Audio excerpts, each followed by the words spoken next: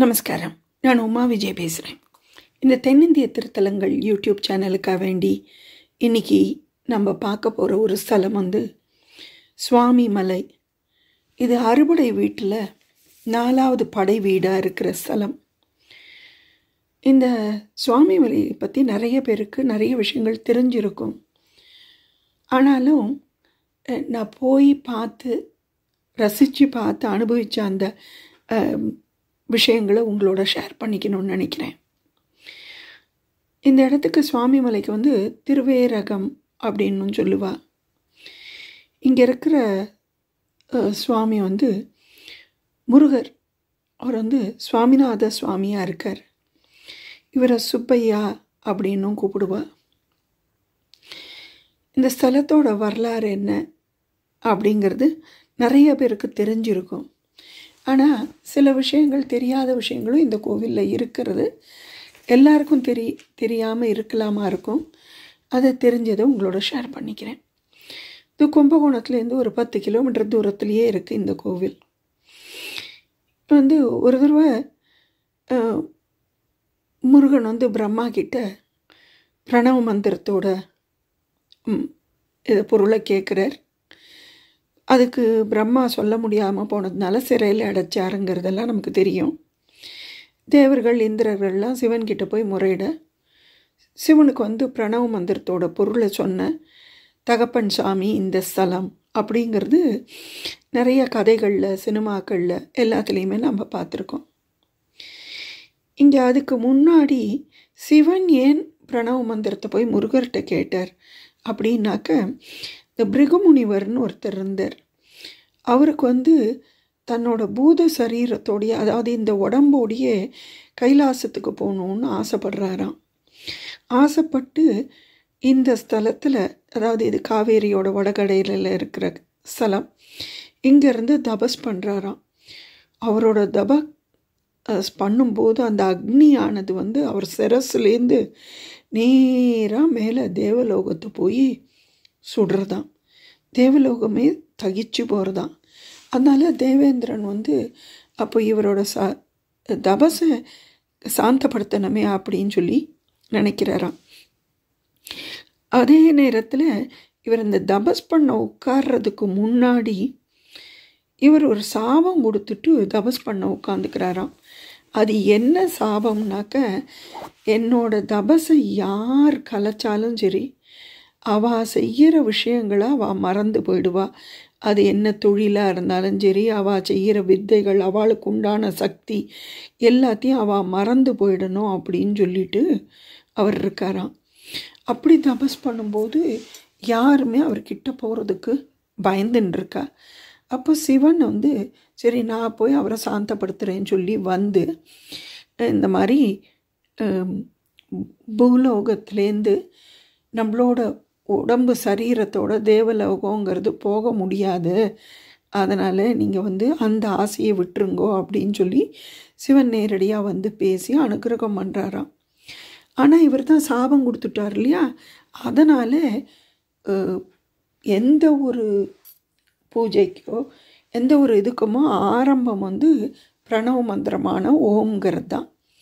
அந்த சிவனுக்கு அந்த ஓம்ங்கிற மந்திரத்தோட இதுவும் மறந்து போய்டுறதான் அது மறந்து போனதுங்கிறது காரணம் இவர் பிருகுமுனிவருக்கு கொடுத்த சாபத்தோட காரணத்தினால. அப்போது இந்த பிரணவ மந்திரத்தை சிவனுக்கு உபதேசிக்கணும். சிவன் வேறு யாருக்கிட்டையாவது போய் உபதேசம் கேட்க முடியுமான்னாக்க அது கஷ்டம். ஏன்னா சிவனை விட பெரியவாளாக இருக்கிறவா தான் சிவனுக்கு உபதேசம் பண்ண முடியும். அப்போது என்ன பண்ணுறது அப்படின்னு யோசித்து சிவன் வந்து தன்னோட நெத்தி கண்ணுலேருந்து தன்னோட சரீரத்திலேருந்தே தன்னோட ஒரு பாகமாக ஆறு குழந்தைகளை நெத்தி கண்லேருந்து அந்த குழந்தைகளை உண்டாக்குறார். சக்தி என்ன பண்ணுறா அந்த ஆறு குழந்தைகளையும் போய் தன்னோட கரத்தால் அரவணைச்சு ஆறு முகமும் ஒரு உடலும் இருக்கிற முருகனாக முருகனா எடுத்துக்கிறா. அதுதான் அந்த கார்த்திகை பெண்கள்கிட்ட அந்த தாமரை பூவில் இருக்கிற முருகர். அந்த ஆறு கார்த்திகை பெண்கள்கிட்ட இருந்தவாளை அம்பாள் போய் அணைச்சி ஒன்று சேர்த்து ஒரு முகம் ஒரு உடம்பும் ஆறு தலையும் பனிரெண்டு கைகளும் இருக்கிற பிள்ளையாக எடுத்துக்கிறார் அப்போ அந்த குழந்தை வந்து சிவனோட உருவத்திலேருந்தே சிவனோட உடம்புலேருந்தே சிவனோட சக்தியிலேருந்தே வந்தபடியா அந்த குழந்தை தான் பிரணவ மந்திரத்தை சொல்லணுங்கிறது தான் இந்த தாத்பரியத்துக்காக தான் அப்படி குழந்தை பிறக்கிறது. இந்த குழந்தை வந்து சக்தியோட கையால் ஒன்று சேர்ந்து வளர்றது. அப்போது இந்த இந்திரன் இவா தேவர்கள் எல்லாரும் போய் இப்படி பிரம்மனை சிறையில் அடைச்சிட்டாரே சொல்லி கேட்கும்போது இந்த இந்த விஷயம் நடந்ததும் அதையும் கனெக்ட் பண்ணி நடக்கிற மாதிரி சிவன் வந்து சரி அந்த பிரணவ மந்திரத்தோட அர்த்தத்தை சொல்லுன்னு சொல்லி கேட்குறாராம். இப்போ ஏ குருவாக இருக்கிறவர் வந்து மேலே இருக்கணும் சிஷ்யாங்கிறவ கீழே வாய் பொத்தி இருந்து கேட்கணுங்கிறது ஐதீகம். அதனால் அதை தவிர சிவனோட வலது காதில் சிவன் இந்த குழந்தையை தூக்கி வச்சிக்க. அவர் முட்டி போட்டுண்டு உட்காந்துண்டு தூக்கி வச்சிக்க. அந்த குழந்தை வந்து சிவனோட வலது காதில் இந்த ஓம்ங்கிற பிரணவ மந்திரத்தை சொல்கிறதா அதுக்கும் ஒரு காரணம் சொல்லப்படுறது. இடது பாகம்ங்கிறது அம்பாளோட பாகம் உமைவள் பாகம். அதனால் வலது பாகத்தில் சிவனோட காதில் இந்த பிரணவ மந்திரத்தை குழந்தை சொன்னது. அப்படி சுவாமிக்கே நாதனானபடியா இனிமே நீ சுவாமிநாதன்ங்கிற பேரில் அழைக்கப்படுவாய் அப்படின்னு சொல்கிறார் நமக்கு தகப்பன் சுவாமியா சுவாமிநாதனா அருள் பாலிச்சுருக்கார் இந்த முருகர். இவர் இருக்கிறது ஒரு சின்ன குன்று மாதிரி இருக்குது கும்பகோணம் தஞ்சாவூர் இப்படி சுற்றி பார்த்தேன்னாக்க எங்கேயுமே குன்று கிடையாது. ஆனாலும் இந்த இடத்துல ஒரு சின்ன குன்றில் குருவாய் அமர்ந்து நமக்கு உபதேசம் பண்ணுறபடியாக இருக்கிறபடியாக இந்த மலைக்கு வந்து குருமலை அப்படிங்கிற பேரும் இருக்குது இந்த சுவாமியை தரிசிக்கணும்னா நம்ம அறுபது படி மேலே ஏறி போகணும். இந்த அறுபது படியும் வந்து தமிழ் வருஷங்கள் அறுபது மாதத்தை குறிக்கிறதா இருக்குது இந்த இந்த சுவாமியை வந்து நம்ம போய் பார்த்தோம்னாக்க ம படியேறி போகும்போது நம்மளுடைய பூர்வ ஜென்ம பாவ சாபங்கள் எல்லாமே நிவர்த்தி ஆகிறது பாவ புண்ணிய கணக்குக்கு ஏற்ற மாதிரி தான் அவர் அங்கே நம்மளை கூப்பிட்டுக்கிறார் அப்படின்னு ஏரகத்து செட்டியாரேன்னு ஒரு வார்த்தை இருக்குது அந்த மாதிரி அந்த பாட்டுக்கு ஏற்ற மாதிரி இவர் செட்டியார் மாதிரி இவர் கணக்காக இருப்பாராம். அவாவாளுக்கு உண்டான பாவ புண்ணியத்துக்கு ஏற்ற மாதிரி சொல்லுவாராம். இந்த கோவிலில் இருக்கிற இந்த சிவாச்சாரியார் குருக்கள் மாமா வந்து சதீஷ் மாமான்ட்டு அவர் சொல்லும்போது சொன்னார் மே நமக்கு உண்டானதை நியாயமானதை இந்த மலையில் நம்ம காசு எடுத்துட்டா உண்டு. அநியாயமாக எடுத்துட்டா நம்ம கீழே போகிறதுக்குள்ளே வேறு ஒரு செலவு வந்துடும் அந்த மாதிரி சுவாமி கணக்காக வச்சுன்னு இருப்பார் இந்த கோவிலில். அப்படின்ட்டும் சொன்னார். இப்போ வந்துட்டு இந்த கோவிலில் பாக்கி என்ன விசேஷங்கள்னு பார்த்தோம்னாக்க சுவாமி ஆறடி ஒசரத்துக்கு நின்றுருப்பார் கையில் ஒரு தண்டம் வச்சுட்டுருப்பார் தலையில் உச்சி குடுமி இருக்கும் மார்பில் பூனல் இருக்கும். இடது கையை வந்து இடுப்பில் வச்சுட்ட மாதிரி தொ தொடையில் அப்படி கை வச்சுட்ட மாதிரி இருப்பார். இங்கே மூல ஸ்தானத்தில் வந்து சுவா எல்லா இடத்துலையும் இப்போ பிள்ளையாரோ அம்பாளோ வேறு எந்த இதுவுமே வந்து கீழே இருக்கிற பீடம் வந்து ஆதார பீடம்னு சொல்லி சொல்லுவோம். சிவனுக்கு மட்டும்தான் அந்த பீடத்தை வந்து ஆவுடையாருன்னு சொல்லுவோம். இந்த ஸ்தலத்தில் முருகருக்கு கீழே ஆவுடையார் தான் இருப்பார். அந்த ஆ முருகன் நிற்கிற பீடம் வந்து ஆவுடையார். அப்போது அந்த பானம் வந்து லிங்க பானம் வந்து அரூபமானது. அந்த லிங்க பானத்துக்கு பதிலாக இந்த முருகனே பானலிங்கமாக இருக்கிறதா இங்கே ஐதீகம். அதனால் இங்கே ஆதாரபிடம் கிடையாது. சுவாமியே இங்கே ஏகைக பாவம்ங்கிற மாதிரி சுவாமியே சிவனாகவும் முருகராகவும் இருந்து முருகராக தான் இங்கே கூட சிவஸ்வரூபமாக இருந்து காட்சி தரார். இங்கே அது இந்த இதில் இன்னும் ஒரு விசேஷம் என்னன்னு பார்த்தோம்னாக்க முருகருக்கு ஏற்ற மாதிரி எப்போவுமே வந்து மயில் வாகனம் தான் இருக்கும். கோவிலெல்லாம் மயில் தான் இருக்கும். ஆனால் இந்த ஸ்தலத்தில் மட்டும் ய- யானை இருக்கும். அதுக்கு என்ன காரணம் அப்படின்னு கேட்டோம்னாக்கா அரிகேசன் அப்படின்னு சொல்லிட்டு ஒரு அரக்கன் இருந்தானாம். அந்த அரக்கனை வெற்றி கொள்றதுக்காக வேண்டி இந்திரன் இந்த முருகனை வேண்டிட்டு போய் அந்த அரக்கனோட போரிடுறாராம். போரிட்டு ஜெயிச்சபடியாக தன்னுடைய யானை வாகனத்தை யானையை இவருக்கு கொடுத்தபடியாக இங்கே ஸ்தலத்தில் கருவறைக்கு நேர இருத்த மாதிரி யானை இருக்குது அப்படின்னு சொல்லப்பட்டது. அடுத்து பார்த்தோம்னாக்க கோஷ்டக் சுவாமிகள். நம்ம எல்லா இடத்துலையும் கோஷ்டத்தில் பிள்ளையார் துர்க்கை தட்சிணாமூர்த்தி அப்படிலாம் நம்ம பார்த்துருக்கோம் சிவன் கோயிலில். இங்கே வந்து கோஷ்டத்தில் தக்ஷணாமூர்த்திக்கு பதிலாக பாலதண்டாயுதபாணி இருப்பார். அவருக்கு கீழே வந்து சுற்றி வர நான் ரெண்டு பக்கமும் ரெண்டு ரெண்டாக மொத்தம் நாலு ரிஷிகள் இருப்பார் இங்கே முருகரே தான் இருப்பார் பா தட்சிணாமூர்த்திக்கு பதிலாக அதே மாதிரி சோமஸ்கந்தர் இருக்க வேண்டிய இடத்துல வந்து பார்த்தேன்னாக்கா சுப்பிரமணியர் வள்ளி தேவியானே இருப்பா. அம்பாள் இருக்க வேண்டிய ஸ்தானத்தில் பார்த்தோன்னாக்கா வள்ளி தேவியானே சமேத சண்முகர் இருப்பார். அதே மாதிரி நடராஜர் சபை இருக்குது இந்த நடராஜர் சபை வந்து இந்த மூலஸ்தானத்துக்கு இருக்குது இல்லையா? கர்ப்பகிரகம். அது பக்கத்தில் இடது பக்கத்தில் நடராஜர் இருக்கார். இந்த நடராஜர் சந்நிதியிலையும் சுவாமி வந்து வள்ளிதேவியான சமேத சபாபதியாக தான் இருக்கார் அவர். இங்கே வந்து சுவாமி எல்லா இடத்துலையும் நடராஜர் வந்து காலை தூக்கிண்டு நடனம் ஆடுற மாதிரி இருக்கும். இந்த இடத்துல ரெண்டு காலுமே தரையில் பாவிச்சுண்டு ரெண்டுமே தரையோட தொட்டுன்னு இருக்கிற மாதிரி தான் இருக்கும். இங்கே பிர பிரணவ மந்திரத்தை உபதேசித்து பிரம்மனை விடுவிக்கிறதுக்கு முன்னாடி அந்த இடைப்பட்ட காலத்தில் இந்த முருகர் வந்து சுவாமிநாத சுவாமி வந்து தானாகவே பிரம்மனை சிறையில் அடைச்சிட்டு பிரம்மாவோட படைப்பு தொழிலை தான் ஏற்றுண்டாராம் அந்த மாதிரி பிரம்மாவோட படைப்பு தொழிலை அவர் ஏற்றுண்டபடி பதில் அவர் படைச்ச காலத்தில் நடந்த விஷயங்கள் எல்லாமே வித்தியாசமாக இருக்கும். அதாவது பனை எடுத்துட்டேன்னா ரெண்டு விதமான பனை ஆண் பனை பெண் பனைன்னு ரெண்டாக படைச்சாராம். அதே மாதிரி வாழையில் வந்து ஒன்று பூ பூக்கிற வாழை ஒன்று காய் கொடுக்குற வாழைன்ட்டு உ- படைச்சாராம்.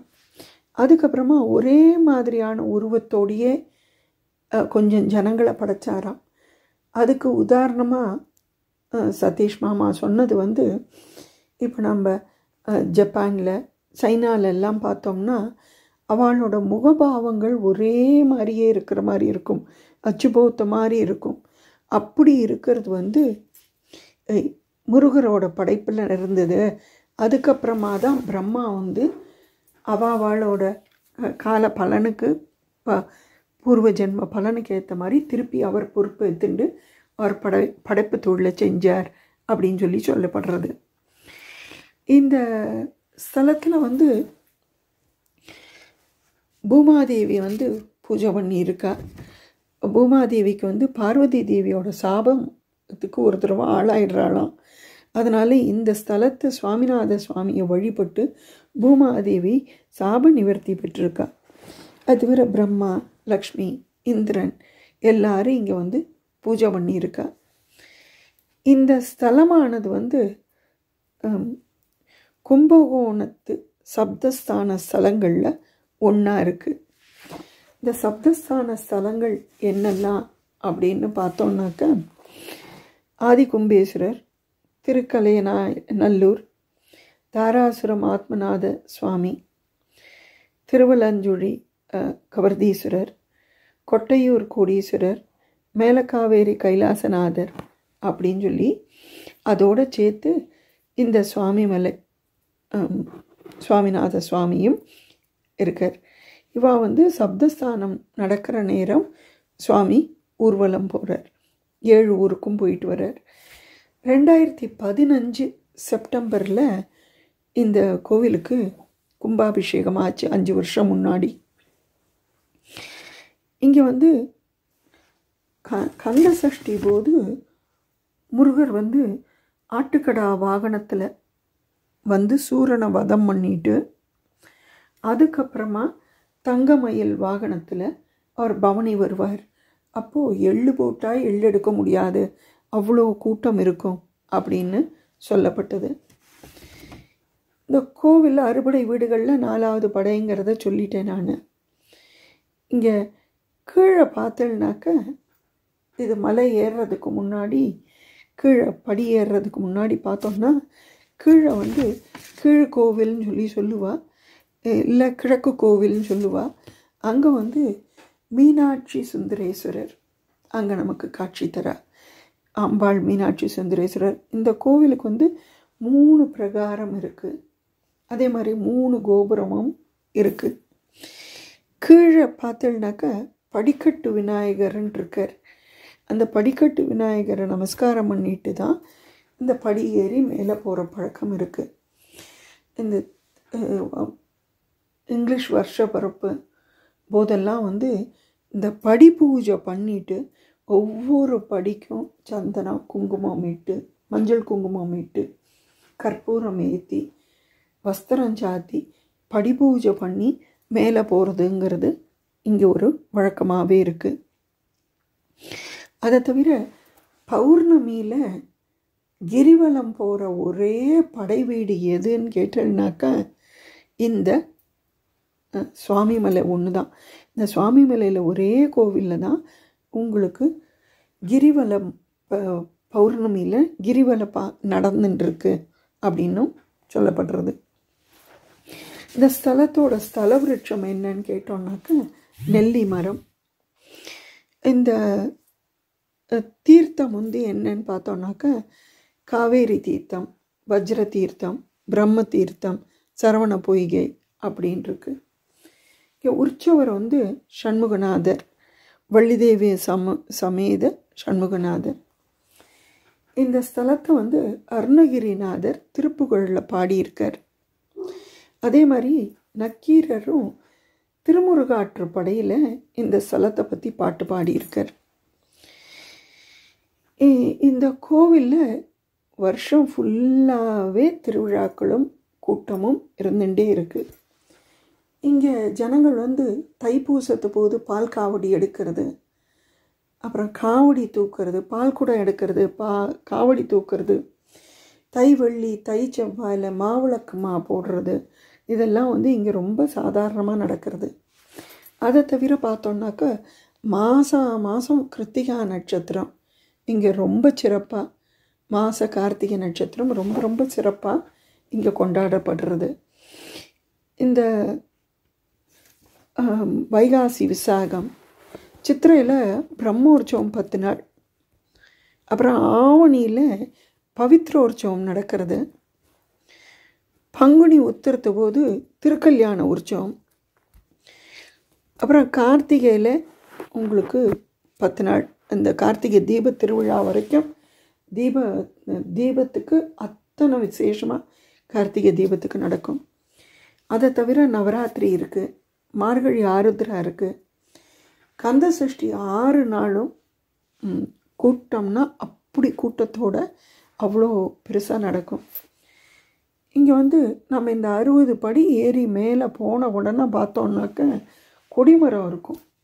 அந்த கொடிமரத்துக்கு பக்கத்தில் நேத்திர கணபதி அப்படின்னு இந்த மகா மண்டபத்திலேயே இருக்கார் அந்த நேத்திர கணபதியை முதல்ல தரிசனம் பார்த்துன்ட்டு தான் நம்ம உள்ளே போய் முருகனை பார்க்க போகிறோம் முருகனோட கையில் இருக்கிற அந்த அம்பாள் கொடுத்த வேல் இச்சாசக்தி ஞானசக்தி கிரியாசக்தியோடு சேர்ந்த வேல் மூணும் சேர்ந்து இருக்கும் அந்த வேலால் அவர் வந்து தோண்டி குளத்தை ஏற்படுத்தினாராம்.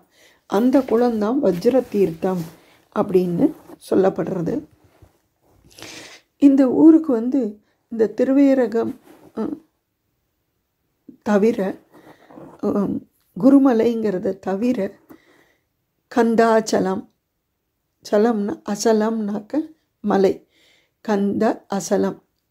கந்தாச்சலம் சிரகிரி சிவமலை அப்படின்னு நிறைய பேர்லாமும் இருக்குது இங்கே கீழே இருக்கிற இந்த அம்பாள் மீனாட்சி அம்பாள் வந்து அத்தனை சாந்த சுரூபத்தோடு இருக்கா. அதனால் கீழே நிறைய பேர் வந்து திருக்கல்யாணம் கல்யாண உற்சவங்கள் கல்யாண காட்சிகள்லாம் இங்கே நிறைய நடக்கிறது. இந்த கோவிலுக்கு இருக்கிற ராஜகோபுரம் வந்து தெற்க பார்த்து இருக்கு. பெருசாக அஞ்சு நிலையோடு இருக்கிற ராஜகோபுரத்தோட இருக்கிற இது. இதை தவிர இந்த கோவிலில் வேறு யாரெல்லாம் இருக்கா அப்படின்னு பார்த்தோம்னாக்கா சமயக்குறவர்கள் நாலு பேரும் இருக்கா. காசி விசாலாட்சி சமேத விஸ்வநாதர் இருக்கார். அதுக்கப்புறமா வடக்கு பிரகாரத்தில் பார்த்தோம்னாக்க துர்கை இருக்கா நவகிரகம் சண்டேஸ்வரர் எல்லாரும் இருக்கா. இந்த கோவிலில் வந்து தெரியாதவா இருக்கவே மாட்டா. ஆனாலும் இந்த பாக்கி விஷயங்கள் அதாவது கோஷ்ட மூர்த்தியில் எல்லாமே முருகராகவே இருக்கிறது வேறு தெய்வம் இல்லாமல் இருக்கிறது. அதுக்கப்புறம் இன்னொன்று என்னென்னா இந்த முருகனை அபிஷேகம் பண்ணும்போது பார்த்தோம்னாக்க ஒவ்வொரு அபிஷேகத்துக்கும் சுவாமி வித்தியாசமாக காட்சி தருவார். இது வந்து சதீஷ் மாமா சொன்னதுக்கு அப்புறமா அதை உத்து பார்க்குற வாய்ப்பு எனக்கு கிடச்சிது. இது கேட்டுன்றதுக்கு அப்புறமா ஒரு தடவை அபிஷேகம் பண்ணுற சந்தர்ப்பம் கிடச்சிது. அப்போ இருந்து பார்த்தபோது வியோபதி அபிஷேகம் பண்ணினாக்க அவர் வந்து பழுத்த ஞானி மாதிரி இருப்பார். அதுவே சந்தன அபிஷேகம் பண்ணினா சின்ன குழந்தை மாதிரி இருப்பார். இவர் இங்கே குழந்தையாகவே இருந்து உபதேசம் பண்ணி சின்ன குழந்தையாகவே இருந்தபடியா இன்றைக்கும் ராத்திரியில் குழந்தைக்கு பால் கொடுத்துட்டு படுக்க வைக்கிற பழக்கம் இருக்குது நெஞ்சில் சுவாமிக்கு சந்தனத்தை வைப்பா. சந்தனத்தை வச்சுட்டு குழந்தைய தூங்க வைப்பாளாம். காத்தால் எந்திரிச்ச உடனே முதல்ல நம்ம போனோம்னாக்க நமக்கு அந்த சந்தன பிரசாதம் கிடைக்கிறதுக்கு அந்த விடிகாத்தால் போய் தரிசனம் பார்த்தோன்னா சொல்லி வச்சோன்னா நமக்கு கிடைக்கிறதுக்கு சந்தர்ப்பம் நிறைய இருக்குது அப்போவும் குழந்தைக்கு எழுப்பின உடனே பாலை கொடுக்குற மாதிரி சுவாமிக்கு சின்ன குழந்தைக்கு பாலை தான் கொடுத்து நைவேத்தியம் பண்ணுறேன் இங்கே வந்து உள் சுத்தில் பார்த்தோன்னாக்க இந்த ஸ்தலத்தோட ஸ்தல விநாயகர் இருக்கார். அப்புறம் வள்ளிதேவியானோட சேர்ந்த சுப்பிரமணியர் சரஸ்வதி நாரதர் வீரபாகு அகஸ்தியர் அருணகிரிநாதர் இவா எல்லாருமும் இங்கே இருக்கா? இந்த கோவிலுக்கு அதாவது கும்பகோணம் போகிற சந்தர்ப்பம் இருக்கிறவா? சுவாமி மலையில் போயிட்டு இப்படி இருக்கிற பாக்கி விஷயங்களையும் பார்த்து அந்த ஆதார பீடத்தில் நிற்கிற தள்ளி இருந்து பார்த்தோன்னா தெரியாது. கொஞ்சம் கிட்டக்க பார்த்தோன்னா கீழே ஆதார பீடமாக இரு இல்லாமல் ஆவுடையாராக இருக்கும். அந்த ஆவுடையில் முருகன் நிற்கிறது வந்து சிவஸ்வரூபமாகவே இங்கே இருக்கார் அப்படிங்கிறது ரொம்ப சக்தி வாய்ந்தது. சந்தர்ப்பம் கிடைச்சவா கண்டிப்பாக போய் பார்த்துட்டு வாங்க. இந்த செய்திகளை உங்களுக்கு தெரிஞ்சவாளோடையும் நீங்கள் ஷேர் பண்ணிக்கலாம். இதை தவிர வேறு ஏதாவது விசேஷங்கள் உங்களுக்கு தெரிஞ்சது இருந்து இதில் நான் சொல்லாமல் விடுபட்டிருந்ததுன்னா அதை நீங்கள் கமெண்ட் பாக்ஸில் போட்டேன்னா நானும் கற்றுக்கலாம். இந்த வீடியோ பார்க்குற பாக்கி பேரும் இதில் தெரிஞ்சுக்கலாம். இந்த வீடியோ பிடிச்சிருந்ததுன்னா லைக் பண்ணுங்க கமெண்ட் பண்ணுங்க ஷேர் பண்ணுங்க. இது வரைக்கும் சப்ஸ்கிரைப் பண்ணாதவா சப்ஸ்கிரைப் பண்ணுங்க. நமஸ்காரம். தேங்க்யூ